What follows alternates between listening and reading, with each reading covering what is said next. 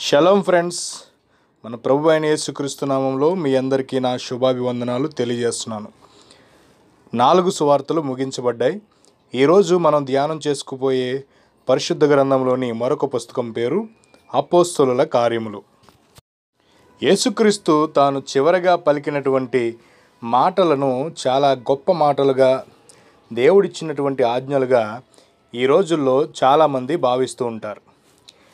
ఎరుషలేములోను యోదయ సమరయ ప్రాంతంలోను భూ దిగంతముల వరకు మీరు నాకు సాక్షులై ఉందురు అను యేసుక్రీస్తు చివరి మాటను దేవుని యొక్క ఆజ్ఞగా శిరసా వహించి పునరుద్ధానుడైనటువంటి మన రక్షకుడైన యేసుక్రీస్తుని గురించినటువంటి వర్తమానమును భూ దిగంతముల వరకు ప్రకటించిన యేసుక్రీస్తు యొక్క శిష్యుల యొక్క క్రియలను గురించి వైద్యుడైనటువంటి లోకా రాసినటువంటి మరొక పుస్తకమే అపోస్తలుల కార్యములు. ఈ గ్రంథములో క్రైస్తవ సంఘం యొక్క అభివృద్ధిని గురించి చాలా స్పష్టమైనటువంటి ఉద్దేశాన్ని లోక తెలియపరిచాడు. ఈ గ్రంథాన్ని రచించింది వైద్యుడైనటువంటి లోక. ఎవరికి రాశాడు అంటే థియోఫిలాస్కు రాశాడు అదేవిధంగా మనందరికీ కూడా రాశాడు. ఈ గ్రంథం రాయబడినటువంటి కాలము దాదాపు క్రీస్తు శకము అరవై ఒకటవ సంవత్సరంలో రాయబడింది. క్రీస్తు యొక్క జీవితాన్ని క్రీస్తు యొక్క సువార్తను అదేవిధంగా క్రైస్తవ సంఘం యొక్క అభివృద్ధిని కలిపే ఒక గొలుసు లాంటిది అపోస్తుల కార్యముల పుస్తకము.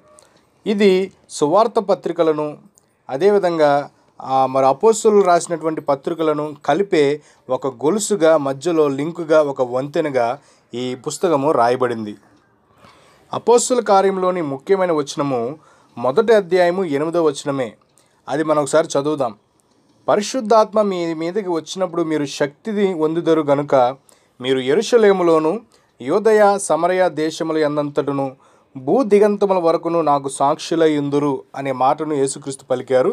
ఆ మాటే అపోస్తల కార్యం యొక్క ప్రధానమైనటువంటి ముఖ్యమైనటువంటి వచనం పౌలు యొక్క అతి ప్రియమైనటువంటి తోటి ప్రయాణికుడు అనే రీతిలో పదమూడవ అధ్యాయం నుండి ఇరవై ఎనిమిదవ అధ్యాయం వరకు ఉన్నటువంటి అధ్యాయంలోని సంఘటనలను మనం మనం పరిశీలన చేసినట్లయితే ఈ ఈ సంఘటనలన్నింటినీ స్వయంగా చూసిన వారిలో ముఖ్యమైన వ్యక్తి ఈ లోక అని మనం చెప్పవచ్చు. అదేవిధంగా మొదటి నుండి పన్నెండు వరకు ఉన్నటువంటి అధ్యాయాలను రాయడానికి ఎర్షిలేంలోని పేతురు యోహాను వంటి ముఖ్యమైన మనుషులను చూచి వారు చెప్పిన విషయాలన్నీ విచారించి తెలుసుకొని ఈయన అపోస్తుల కార్యంలో రాసినట్లుగా మనం అర్థం చేసుకోవచ్చు.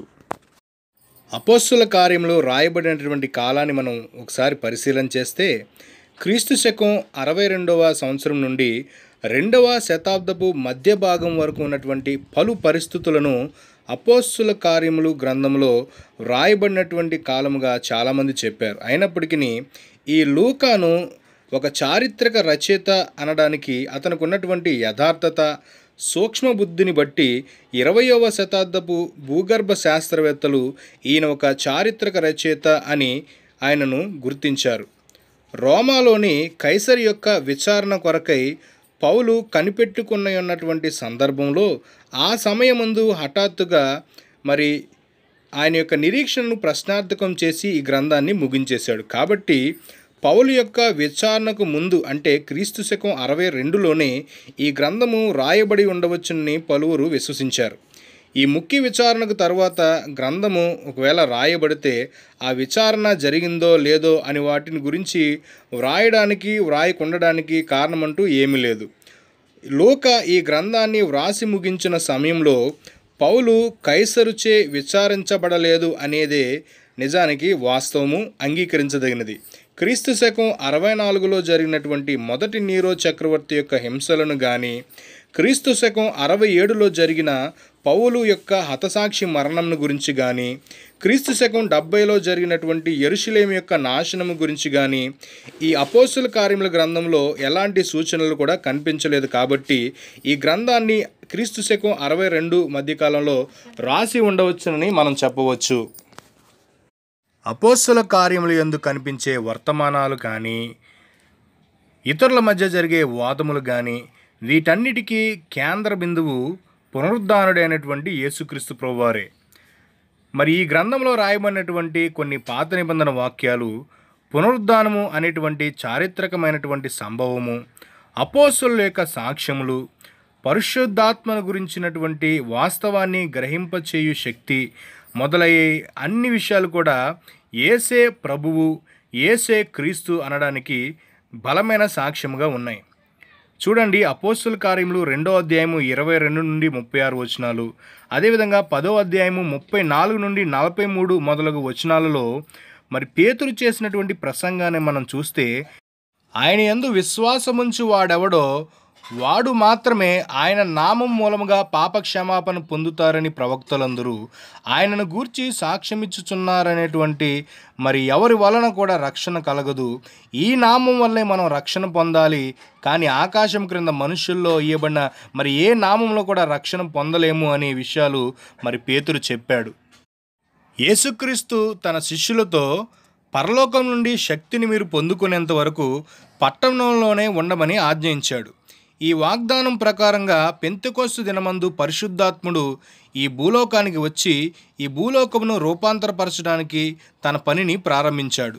శిష్యులను ప్రపంచవ్యాప్తము మరి జయించలేనటువంటి ఒక సంఘముగా మార్చి ప్రభు యొక్క గొప్ప ఆజ్ఞను నెరవేర్చుటకు ముందుకు సాగుటకు వారిని బలపరిచాడు. అపోస్తుల కార్యముల గ్రంథము చాలా రకములైనటువంటి పరివర్తనలకు కేంద్ర బిందువుగా ఉంది. సువార్త గ్రంథముల నుండి పత్రికలకు కొరకైనటువంటి మార్పు అదేవిధంగా యోధా మతం నుండి క్రైస్తవ మార్గమునకు గల పరివర్తనము ధర్మశాస్త్రం నుండి కృపకు కలిగినటువంటి మార్పు యూదులు మాత్రమే దేవుని ప్రజలుగా ఉన్నటువంటి అవస్థ నుండి సకల జనమ వర్గములు కూడా దేవుని ప్రజలుగా మార్చబడినటువంటి పరివర్తనము పలు మార్పుల ఆధార సూచనలను లోకా వ్రాసిన ఈ గ్రంథం నుండి మాత్రమే మనం స్వీకరించగలము. ఈ గ్రంథపు ముఖ్య వచనమైనటువంటి మొదటి అధ్యాయము ఎనిమిదవ వచనంలో సూచించబడి ఉన్నటువంటి మాదిరి ప్రకారంగా మూడి భాగములు ఈ గ్రంథంలో ఉన్నట్లు మనము గ్రహించగలము. ఇందులోని మొదటి భాగము ఎరుషులేములో యేసుక్రీస్తుని గురించినటువంటి సాక్ష్యము. ఇది మొదటి అధ్యాయము మొదటి వచనం నుండి ఎనిమిదవ అధ్యాయము నాలుగవ వచనం వరకు ఉంటుంది.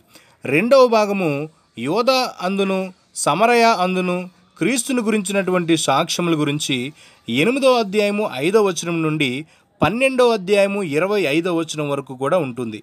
మూడో భాగం మనం చూసినట్లయితే భూ దిగంతముల వరకు క్రీస్తుని గురించినటువంటి సాక్ష్యం గురించి మరి పదమూడవ అధ్యాయం నుండి ఇరవై ఎనిమిదవ అధ్యాయం వరకు మనం చూస్తాం.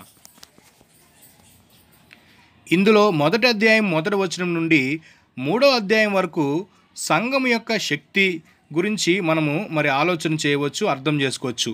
మూడో అధ్యాయము మొదటి వచనం నుండి ఎనిమిదో అధ్యాయం నాలుగో వచనం వరకు సంఘం యొక్క అభివృద్ధిని గురించి మనం చూడవచ్చు. ఈ ఇదంతా కూడా ఎరుషలేంలోని యూదుల మధ్యలో జరిగినటువంటి సాక్ష్యం గురించి మనము మరి పేతురు చెప్పినటువంటి సందేశాల ద్వారా మరి అర్థం చేసుకోవచ్చు.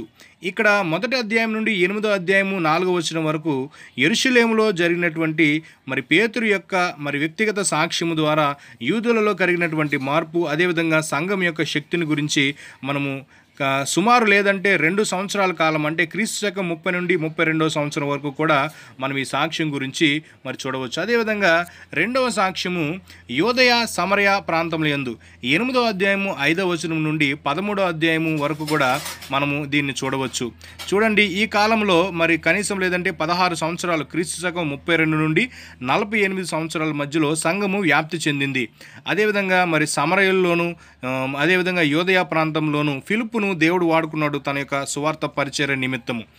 ఇది మరి యోదయ సమరయ ప్రాంతంలో ఎందు మరి సాక్ష్యముగా మనం చూడవచ్చు. అదేవిధంగా మూడో భాగం మనం చూసినట్లయితే పదమూడవ అధ్యాయం మొదటి వచనం నుండి ఇరవై ఒకటో అధ్యాయము మొదటి వచనం వరకు మరి సౌలును పౌలుగా మరి దేవుడు మార్చుకున్న తర్వాత పౌలు చేసినటువంటి మరి మూడు ప్రయాణముల గురించి ఇక్కడ రాయబడింది. అదేవిధంగా ఇరవై ఒకటో అధ్యాయం మొదటి వచనం నుండి ఇరవై ఎనిమిదో అధ్యాయం చివరి వచనం వరకు మరి పౌలుకు జరిగినటువంటి విచారణ గురించినటువంటి వివరాలు అక్కడ రాయబడ్డాయి. ఈ పదమూడో అధ్యాయం నుంచి ఇరవై ఎనిమిదో అధ్యాయం వరకు మరి ఉన్నటువంటి మధ్య కా- ప్రాంతంలో భూ దిగంతముల వరకు ఏ విధంగా అయితే సువార్త విస్తరించింది అనే విషయాలను మరి మరి పౌలు చేసినటువంటి పరిచర్య పౌలు యొక్క సాక్ష్యమును మనం చూడవచ్చు. దీనికి సుమారు పద్నాలుగు సంవత్సరాల కాలం పట్టింది. క్రీస్తు శకం నలభై ఎనిమిది నుంచి మరి క్రీస్తు శకం అరవై రెండో సంవత్సరం వరకు మరి పౌలు మూడు ప్రయాణాలు చేసి భూ దిగంతముల వరకు కూడా సువార్తను ప్రకటించినట్లుగా తర్వాత పౌలుకు జరిగినటువంటి విచారణలో ఆయన మరి దోషిగా నిలబడడం వరకు ఈ యొక్క మరి పుస్తకం రాయబడింది. అపోస్తుల కార్యంలోని సంభవాలను మనం ఒకసారి పరిశీలన చేసినట్లయితే రెండో అధ్యాయంలో ఎరుశలేంలో సంఘము నెలకొల్పబడ్డాను చూస్తాం. ఏడో అధ్యాయం ఎనిమిదో అధ్యాయంలో స్టెఫను రాళ్ళతో కొట్టి చంపబడ్డ సంఘము చెదిరిపోటు గురించి మనం చూస్తాం. తొమ్మిదో అధ్యాయంలో పౌలు మారు మనసు పొంది సువార్త పనిని ప్రారంభించడం మనం చూస్తాం. మారు మనసు పొందిన తర్వాత పౌలు యొక్క మొదటి ఎరుసలేం ప్రయాణం జరుగుతుంది. తర్వాత పదవ అధ్యాయంలో అన్యజనులైనటువంటి కొర్నేలు యొక్క మారు మనసును గురించి పదకొండో అధ్యాయంలో కొరిందులో అన్యజనులు కూడా అంగీకరించబడడం గురించి పన్నెండో అధ్యాయంలో యాకోబు హత్య చేయబడడం గురించి పదమూడు పద్నాలుగు అధ్యాయాలు పౌలు యొక్క మొదటి సువార్త ప్రయాణం గురించి మరి గలతీ పత్రికలో రాయబడడం మనం చూస్తాం. అదేవిధంగా ఎరుషులేము సమాజంగా కూడడం గురించి పదిహేను అధ్యాయంలో రాయబడింది. తర్వాత పదహారు పదిహేడు పద్దెనిమిది అధ్యాయాల్లో పౌలు యొక్క రెండవ సువార్త ప్రయాణము అదేవిధంగా పంతొమ్మిది ఇరవై అధ్యాయాల్లో పౌలు యొక్క మూడవ సువార్త ప్రయాణం గురించి రాయబడింది. తర్వాత పంతొమ్మిదో అధ్యాయం మొదటి వచనంలో పౌలు ఎఫ్ఎస్సికి వెళ్ళడం గురించి రాయబడింది. అదేవిధంగా మరి పౌలు ఎఫ్ఎస్సిని విడిచి బయలుదేరడం గురించి ఆ, పౌలు పౌలు ఉండడం. మూడు మాసాలు పౌలు కొరిందులో ఉండడం. మరి అపోస్తుల కార్యం ఇరవై అధ్యాయం రెండు మూడు వచనాల్లో. పౌలు ఫిలిప్పీ నుండి బయలుదేరడం గురించి అపోస్తుల కార్యంలో ఇరవై అధ్యాయం ఆరో వచనంలో. పౌలు కైసరేలో ఉండడం. మరి ఇరవై ఒకటో అధ్యాయం పదిహేడవ వచనంలో. తర్వాత పౌలు ఎరుశలేం చేరడం గురించి అపోస్తుల కార్యం ఇరవై ఒకటో అధ్యాయం ఎనిమిదో వచనంలో. అదేవిధంగా పౌలు యొక్క రోమా ప్రయాణం గురించి ఇరవై ఏడో అధ్యాయం ఇరవై ఎనిమిదవ వచనాల్లో. తర్వాత పౌలు రోమాలో రెండు సంవత్సరాల నుండి విచారణ కోసం నిలబడడం అనే విషయాలతో ఈ గ్రంథం ముగించబడుతుంది. సువార్తలకు పత్రికలకు మధ్యలో వంతెనగా ఉన్నటువంటి ఈ పుస్తకంలో ఉన్నటువంటి అనేకమైనటువంటి విశేషాల గురించి మనం ఇప్పుడు తెలుసుకున్నాం. ఈ ఇన్ని విషయాలు కలిగినటువంటి ఈ ఈ యొక్క పుస్తకము పరిశుద్ధ గ్రంథంలోని నలభై నాలుగవ పుస్తకము ఇందులోని అధ్యాయాలు ఇరవై ఎనిమిది వచనాలు ఒక వెయ్యి ఏడు వచనాలు ప్రశ్నలు డెబ్బై ఐదు ఉన్నాయి. పాత నిబంధన ప్రవచనములు ఇరవై ఒకటి ఉంటే క్రొత్త నిబంధన ప్రవచనములు ఇరవై ఉన్నాయి. చారిత్రాత్మకమైనటువంటి వచనాలు తొమ్మిది వందల నలభై తొమ్మిది ఉంటే నెరవేర్చబడినటువంటి ప్రవచనాలు నలభై తొమ్మిది ఉన్నాయి. ఇంకా నెరవేర్చబడాల్సినటువంటి ప్రవచనాలు పద్నాలుగు ఉన్నాయి. ప్రియమైన స్నేహితులారా అపోస్తుల కార్యములు పూర్తిగా చదవండి. ఈ వీడియోని చూడండి. మీకు ఈ వీడియో నచ్చినట్లయితే లైక్ చేయండి షేర్ చేయండి.